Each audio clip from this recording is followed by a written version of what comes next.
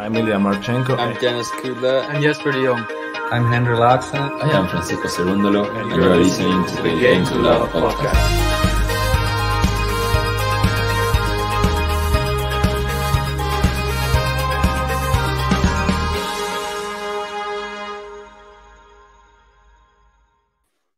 Hey, welcome back, tennis fans. It's draw preview time. And this time we're starting with the women's. We're going to go on to the men's in the next video. This one is Ostrava. And uh, I don't know if I'm going to get the name of the other one right, to be honest, because uh, it's called the Jasmine Open, but I think it's the Monastir Open and it is in Tunisia. I believe it's the first time they've ever played there. But we've got some stacked uh, tournament in Ostrava uh, in the Czech Republic. I'm quite excited because Iga Swiatek is going back on the tennis courts, JG. Yeah, and I'm more excited for the British sensation Emma Raducanu back in action as well. US Open champion. It's not looking great. There's been a lot of injuries. Um, Semi final. Hopefully, listen, she needs to do something this time. She needs to impress. I'm sick of watching her go out early. So I'm going to be interested to see how she gets on. Iga, of course, will be favourite going into it, but you never know. There's always a Haddad Maia around the corner. Ooh.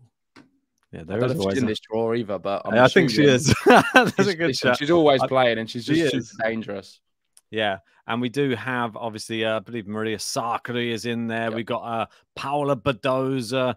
So there is quite a few good players in this one, and um, Emma Raducanu. Not to throw any spoilers out there, she has a very tough first round matchup, and we will get into that. Um, let's have a look at some of the past winners of this event first, as we normally do. And it was last year Anett Kontaveit, uh, who just lost in a final earlier on today to Barbara Krejcikova, who's finally got back to winning ways again. Um, after that, well, last year she won three tournaments. This year she hadn't won any uh, up until today. So she did well to defeat Kontaveit in her backyard in Estonia. Sakkari was last year's finalist. She's in this tournament. And as you can see, it's only been running for three years. So. Yeah, it's interesting right. because Kontaveit certainly plays so much better the back end of the year. Last yep. year, she was one of the best players. Um, and she's been in good form this last one. Like you said, she got to a final, beat Kai Kanepi, and I saw some highlights of that one. Looked very good against Kanepi and won convincingly in straight sets. And Kanepi turned up, so that is a big, to big result. Um, I forget who I had on my bracket. If I'm totally honest, Kanepi, I think. Well, you had Kanepi winning. That yeah. wasn't wasn't a bad selection because she played very well. So I can't really dig you out for it. I think potentially I might have had Haddad Maia. Um, I know I, I think I had her in the final at least because I think she's a really good player. And yeah. was able to defeat her. So Krejcikova coming back to some form. Of course, she's still been playing great in the doubles. Uh, but finally starting to do more on the singles again. Most definitely. Right. Do we have any qualifiers to watch out for on this Ostrava draw? Because it's going to be quite interesting to see because it is fairly stacked. Yeah. Uh, who do you want to be playing? Who you don't want to be playing in that first round? Well, leave it with me, Ben, because I've had a look at some of the qualifiers and they are class. I mean, there's some great players in this in this tournament. Yeah. The one I really want to single out is, of course, Ajla Tomljanovic. She's oh, been amazing. brilliant in all of the slams.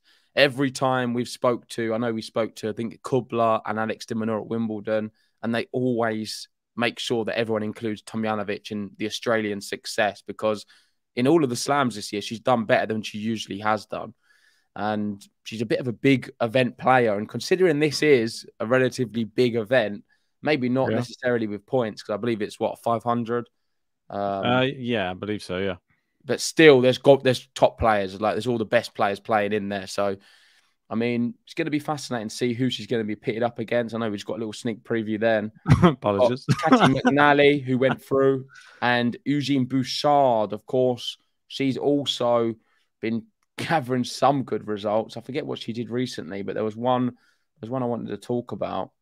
Who McNally? Final? No, uh, Bouchard. She got to a quarter final against Podoroska in, in India, but she, she beat someone quite. quite good. I forget who it was now. Yeah, she was playing.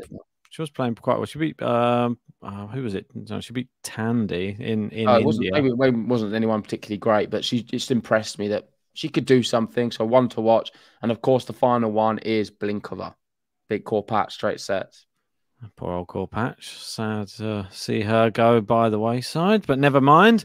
Uh, let's 500 go on... in the world, by the way, Bouchard at the moment. Yeah, um, getting a few. Well, she's having to qualify, but there's enough. Just doesn't play enough tennis.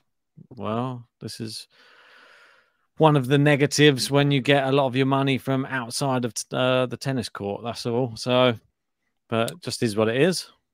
Yeah, shout out to everyone in the live chat as well. Jean's very happy because, of course, Kontaveit doing well, got to a yeah. final. Um, Edimator saying the indoor queen has been defeated. Certainly very good on the indoor hard courts. Other Definitely. players to watch is going to be Zverev when he comes back from injury. Hopefully, we see a bit of tennis before the end of the year. Medvedev so. as another one. And I think like the obvious selections, Djokovic. Let's not rule him out. Amazing. The big question marks are going to be on how does Alcaraz and Ruud, currently world number one and two. I think Ruud has slipped to number three after his loss the other day, pushing Rafa up into two. But regardless, the two top players on the in terms of the rankings, Alcaraz and Ruud, how are they going to fare in the indoor hard courts? Because it's probably not the surface they've had as much practice on. And I think it's going to be tricky for them to maintain their great form on this surface when the big hitters like a maybe a Hubie Hurkacz, Alex Zverev, Daniil Medvedev, they're going to come to the to the fore to the forefront. I think they're going to improve, and it's going to be difficult to take many titles off them. Definitely, and let's not uh, deviate too far away. We will talk about more about the men's in the next video, and let's stick to the women's. And yep. we've got Iga Swiatek as our number one seed in this one. She's got a bye through the first round, and the next match is a real interesting one. We've got uh, Shuai Zhang against Tomljanovic. I mean, two great players. Uh, Zhang, 26 in the world, Tomljanovic, 34 in the world. And they've got quite an interesting head to head. I think it's a bit back and forth with uh, they mainly playing on clay courts. And they always seem to go to three sets by the looks of it. So these two, not sure who's going to win. Um, if I had to go just and pick off the top of my head, I'd probably go Tomljanovic. Yep, me too. I feel like it's a little easier for me. I'm not going to uh, dabble on that one. Okay, we got McNally and Blinkova here. Two qualifiers meeting in the first round. Yeah, this is a tight one. Not Look sure which McNally. way it's going to go. Probably edging McNally. I'm going to go Maia here to beat Muchova. Kontaveit with a bye. Uh, Martincova to beat Teichmann. I don't. This Haddad Maia, you've you've skipped part. I'm actually going to go Muchova to knock out Haddad Maia for a big shock in the first round. Oh, maybe would. Muchova, she's 224th in the world as well at the moment. So somebody who's coming back, I think we need to just uh, keep an eye on her. I thought that Haddad Maia, she slipped up to Krejcikova in the last one, could slip up again. So moving down, Kontaveit with the buy, as you said. Yeah. Um, I've done Martincova to beat Teichmann. Ooh. I'm going to go Alexandrova to beat Azarenka. Yep, same. Kasatkina here to knock out Radu Raducanu. I'm sorry, all the Radu Raducanu fans. Wow. I think Kasatkina is just simply too good. We've got Neil Michaels in saying Emma's been impressive in career, JG, to be fair. She has the better player. She was the best player against Ostapenko in the semi final, setting a break up, looked very good for the final until the injury. Unfortunately, you summed it up lovely then. the last sentence. Too many of the injuries. Some people doubting whether she has injuries. It seems to be a different muscle group every single event. Um, and ultimately, I don't doubt a lot of the injuries probably are sincere ones, but it's a case of the fact she's not playing enough tennis. She's not tough enough on the tour. And until she really dedicates a full rate, a training regime to playing tennis, she's never going to win anything. Not going to gonna... win a single event. She can go down to the challengers. She's probably not even going to win there. She needs to play a lot more tennis and just a lot more training and work on physically building herself up. Well, is this going to run parallel with Jannik Sinner because yet another injury for him? I think it's level with Raducanu for injuries for Jannik Sinner in 2022. Uh, I think it's five. played a lot longer though. I know, but five and counting with injuries. Injuries. He lost out to Holger Rune in that last one. So those two under the microscope. I will be going Kasatkina. She is 11th in the world for a reason. She's very, very good. So um, Bencic to beat Bouchard, I'm going to go with. I'm going Bouchard here. Bigged her up in the intro. I think she knocks out Belinda Bencic. Oh, I thought Bencic was one of your faves. Uh, right, moving down anyway. Krejcikova versus Shelby Rogers. You Just... should know by now, Ben. All the favourites do not win on a women's draw. It's never happened. No, it never not. will. Exactly. Had so Myers out. So far, I see a lot of favourites off from your one. Oh, Haddad Maia went out, didn't she? What's the odds on that one? I don't know. I don't check I'd the odds. I'd love to know. I don't know, mate. Well, you're saying it with confidence that she's not yeah. the favourite. Well, I didn't say favourite. She said she's the seeds, isn't it? They should be the I'm, favourite. I'm just favourite, not not seeds. Oh, okay. You're more of a betting man than me, so I don't really look into those uh, betting lines. No, I don't doubt that Haddad Maia must be the favourite, though. Don't know. Might not be against Muchova. No, no, she's not. Level. There you go. Yeah, so it's not it's not a, not an outsider. What's Bencic Bouchard one? Is it quite an outsider? It's got to be. Oh, three, I reckon. Yeah. Fours. Four. There you go. That's good. So Let's move on. Rogers over. right. Rogers. I'll go. Uh, uh, no, I'm not. I'm going Krejcikova now because she won um, an event. I'm going to go Rogers.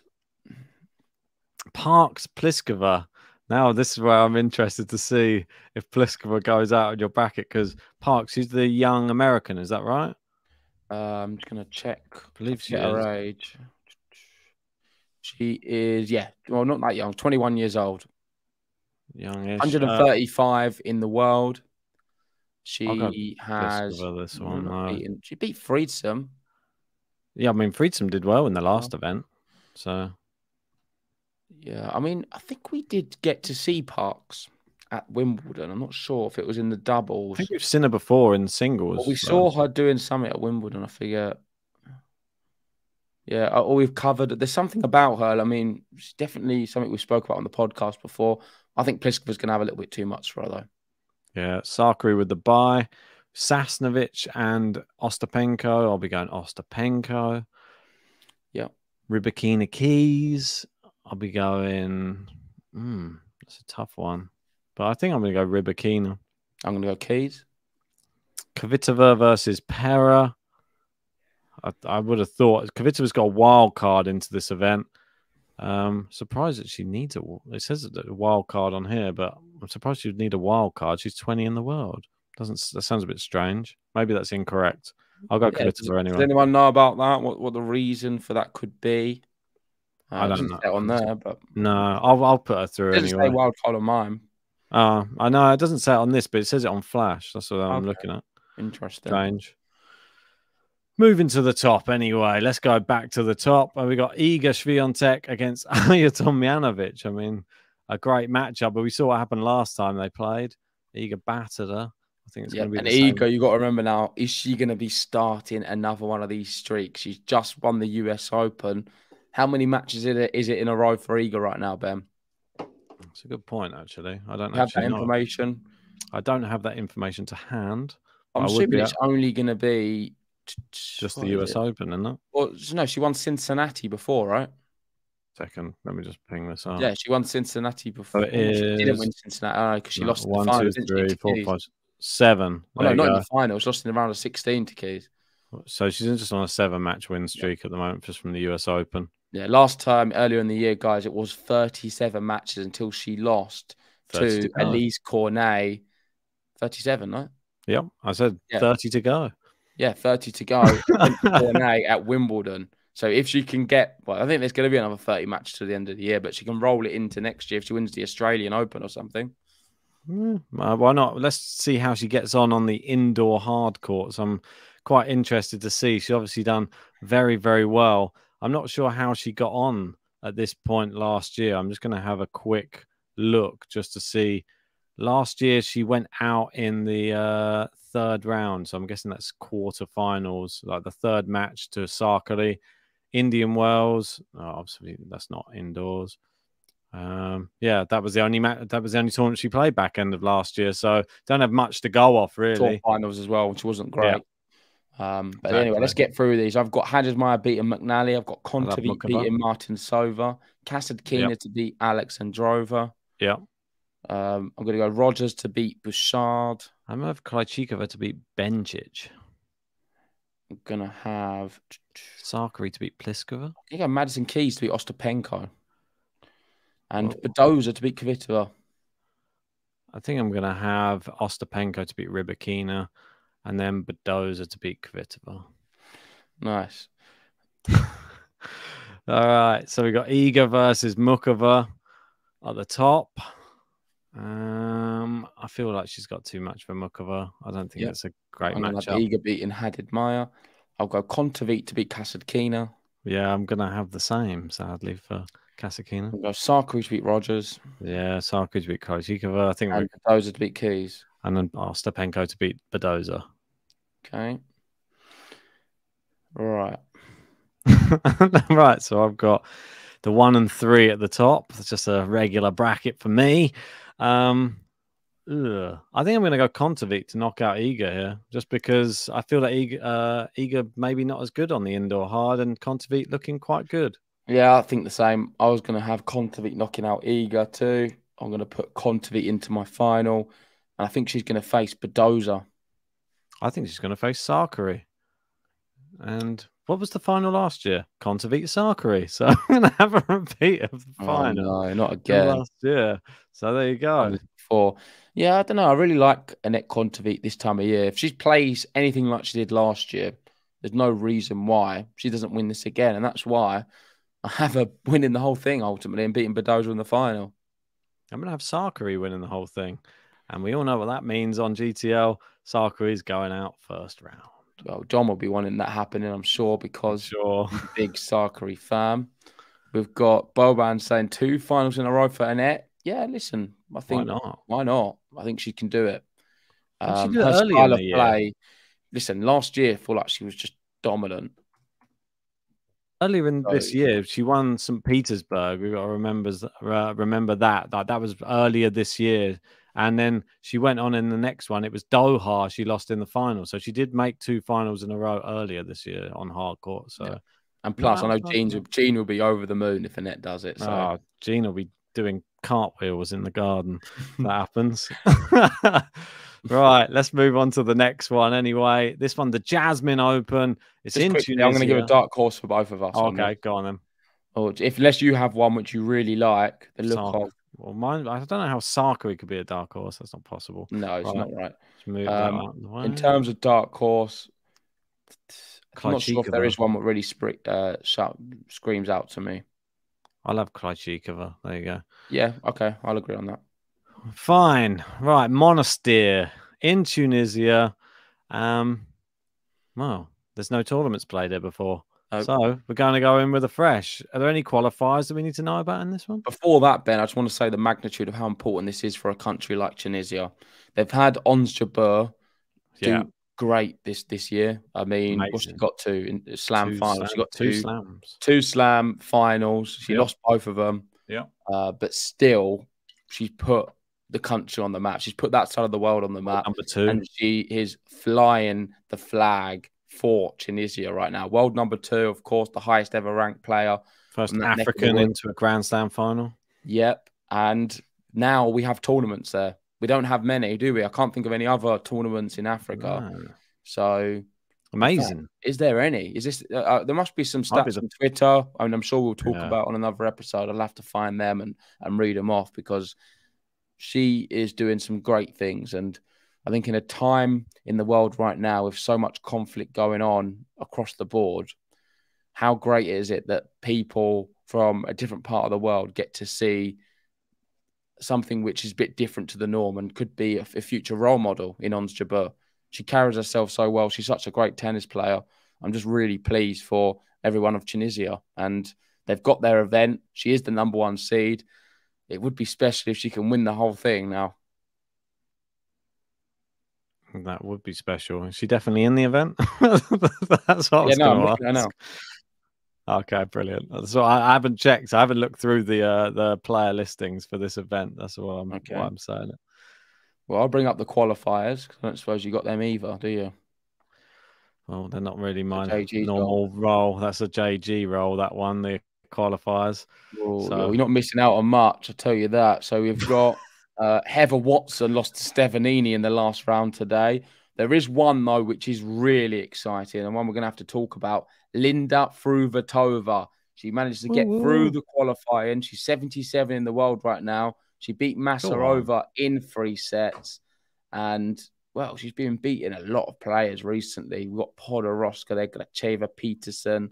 Uh, she did lose to Muguruza. But, yeah, she's having a great year. Both of the Fruhvirtova sisters. I believe this is the older one of the two, is it, or the younger yep. one? Well, the younger one's been having an absolutely storming time as well. The younger one's Brenda, is it? Yeah, the younger one is Brenda. She's, I believe, either 14 16. or 15. Uh, and, uh, well, Linda 14 is. 14 or 15, yeah, surely. Yeah, Linda's, Linda's 17. 17. Yeah, Linda's 17. And Brenda, I believe, oh, is wow. uh, when we did the podcast on her earlier. Remember, I covered the match and she was 14 in that match. And I think she's been on a crazy run. now. Yeah, she's been on a crazy run. She just recently just That's lost. Amazing. And she just won wow, I mean, one, two, three, four, five tournaments in a row in the ITFs. Wow. 15 and 17, two sisters, and they're feared. I mean, I'm looking at it here, and she's the best qualifier, the one to watch the most. Both of them are class, and they're going to be they're going to be a staple part of the women's game for some for so many years. And yeah, definitely, I would actually like to see. Hopefully, she's got a nice draw. That's the only qualifier I really want to talk about. We've also got uh, Bassols, I don't know much about, Uchiyama, Papamichail, Stephanie and Anna Cunha, who's not in good form. All my eyes on the young chap. I mean, it's pretty incredible. I'm just, Brenda was on a, like a 20 plus match winning streak. It's even more, I think. I think I'm just looking at it now. I think it's 27 match win streak she was on. And put this into perspective, in those 27 matches, she dropped two sets. That's nuts. I mean, come on, at 15, that is crazy. Amazing. I mean, well played to her. I uh, can't wait to see what happens next in both of these girls' careers. So let's go into the draw, though. Let's see where Linda will be in the draw. Uh, maybe in the future, Brenda will eventually get into one of these draws. It won't be long. She keeps yeah. playing like that. That's that's for sure. Yeah, I think she could eclipse Linda I think so as well. Serena Williams and the Venus Williams, the younger sister being the better of the two. It, I don't know. It just seems to happen a few times in siblings in sport. The younger one turns out to be the better sports uh, player. I'm sure Murray. other people can think of other examples, but Jamie Murray is he older? if so, then that is truly eclipsed him. I don't know. Yeah, I'm sure there's plenty of examples. Right, let's get into the uh, into the draw proper.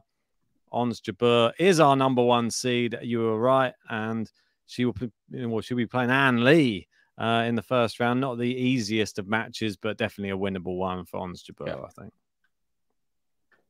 Right. So next up, we got Rodina. That was the that was the girl who did pretty well in the US. Was it US Open? Yeah, that's right. Yeah, I'm gonna have her winning this one. Yeah, me too. I'm gonna go Cunha to beat Liu. I'm going to have Packet losing to Siniakova. Uh, yep. Fruhvirtova, I'm going to have beating Martic, the number four four seed, which is a big Same. win if she can do it. I'll go Fantastic. Rakim over here. I'll go uh, Zhu to beat Papamichail, Mertens to beat yep. Cristian, Potapova to uh, beat the young Russian player Andreeva. She's another one to watch. Mm. Let me just bring her up. I'm going to go Andreeva. Yeah, she's good. 18 oh, years old. She's just beaten. Um, uh, who did she beat to get through? Oh no, because I think she's got straight into the draw. She didn't even go through qualifying. So she played in Romania, I believe, before, and okay, she Who beat she Masarova six two six two. God, that's a big result. Incredible. When she wins, I mean... she wins comfortably. She's an 18 year old player, and she's going to be top 100 very soon. Well, I'm excited for her. Um, let's go down. We've got Bassols. I'm gonna have her beating Zidansek. I don't know if that's a weird one, but no, not for going. me. And I'm going to go Harriet Dart to beat Diaz. I'm going to go Alizé Cornet yep. to beat Pigossi, Linette yep. to beat Stefanini, Parry yep. to beat Zarenko, yeah, Frech to beat Mansouri, and Kudermetova yeah. to beat Gracheva. Sort of picks itself a bit this tournament. All you right, say that. Same lines from Ben. It sort of does, though, doesn't it? I mean, well, unless you're going to. All right, I will. Uh, Rodina oh, knocks out uh, okay. Jabeur. Okay, I'm gonna I'm gonna now battle what you said. So you say it picks itself. Every time you've said that, why do you not get hundred percent right then? If it picks itself, you should get them all right every time. I can guarantee you, every time you've said it picks itself, we'll go back through the results, and it doesn't really pick itself because they're not all right. Well, so let you go maybe, back through all of the archive. No, listen, I think maybe in your head it picks itself, but it, you know it doesn't really materialize like that. Sometimes you've got to go a bit wild. Maybe, hmm. oh, a Rodina to beat an Ons Jabeur, and it could happen. Not in Tunisia. Have listen, a laugh. Ben, you've got to, you've got to not having that. You got to live out your means a little bit sometimes. Go a bit wild outside the box. I don't fancy it for Jabeur. You, you say it picks you picks itself, but it never does pick itself. Otherwise, you'd otherwise you'd get you'd win some brackets. I've never seen you get top twenty yet. I've got Nakashima right. That's about the only one I got right recently. Not on the women's. No, the women's I always do pretty badly on. I try to go a bit out there sometimes, but then that's when I fail and all the seeds win. So I need to just try and time it right, I think. Oh, apologies. I think I've got the wrong Andreeva anyway. That is not the right one. Um, yeah, Erika Andreeva, not Mira. Apologies. So I think there's maybe another oh. Andreeva. Andreeva, the one I'm talking about, is 15 years old. You're correct. Apologies, guys. You're right. Apologies. Good spot. Pot, I, I know at the moment I see the Erika I got it wrong. Ben agreed anyway with me, but at the yeah, moment no, I, I thought it was the same one. Right. Yeah, I, I thought, thought, it was exact, well. I thought it was that exact same one from before. Apologies. That's my bad. Never mind. We get things things wrong here. That's a part of the GTL vibe. Uh, let's go. Ons Jabeur, Siniakova. Yeah. You're, I thought you might go Kunya. I'm going to be having Fruhvirtova. Uh, yeah, why not? And I'm actually going to have Zhu to knock out Mertens. Here he goes. I'm going to have Mertens. You always have Mertens, though. That's just your thing. Like you, you have Mertens going through a few rounds every time. That's right. I used to always have Mertens. When was the last time you her out early? This year I've not. But the year before it was very I was consistent. But this year I've not put her far. I feel that there's a battle in your mind every time you see her name and it just you're fighting. Definitely, you're definitely right. They definitely used to be. but I wouldn't say horrible. this. I Potapova beating Bassols. Yep. I'll have Cornet beating Dart. This is where I'm going to go Dart to beat Cornet. You love a bit of Dart, though. We go Parry to beat Linette and Kudermetova to beat Frech. No, no, no. I'm having Linette, mate. She's been in good form. Yeah, I go Parry. Kudermetova. Right, back to the top. I'm going to go yeah. Ons Jabeur to beat Siniakova. Yeah. Go on, Ons. I'm going to go Fruhvirtova to beat Mertens. Why not? I think I'm going to have Zhu to beat Fruhvirtova. Potapova, Cornet. I'm going to go Dart. Potapova. I need a big event from Dart. I'm going to have Kudermetova beating Parry. I'm going to have Linette here. Nice. That's it. So, Jabeur, Zhu. That's my top two. I'm going Jabeur. Jabeur definitely to beat Fruhvirtova. And Linette from the bottom. And it's a sad one. I'm gonna have to go one and two. I think Kudermetova. Didn't really want to, but I'm gonna have to go for the one two. I'm not sure if Dart beats Kudermetova. So yeah, it kind of picks itself. Good though. Uh, I think we're both going the same. To be fair, no matter what. So. Yeah. Ons Jabeur wins in Tunisia. First event in Tunisia. Ons Jabeur, uh, number one seed. Not much competition at the top half. Someone from the bottom half, I think, could trouble her who gets to the final. But then in a final match, with all the crowd behind her, it doesn't really feel like a 50 50 final. Ons Jabeur's going to have that little bit extra. Had a fantastic year. It just feels like inevitable that she's going to win. I'll be shocked if she loses. I I'll really be, will. I'll be very sad if she. However, listen, I'm going to rewind about a few months, two months maybe. Mm. Iga Swiatek in Poland. Yeah, he said true. the same thing. I mean, there was nobody in that draw and we thought it's impossible that Iga loses in Poland on the clay, her best surface, and she lost. So it can happen. That's the only thing I can really allude to. The the Iga loss in Poland in Warsaw.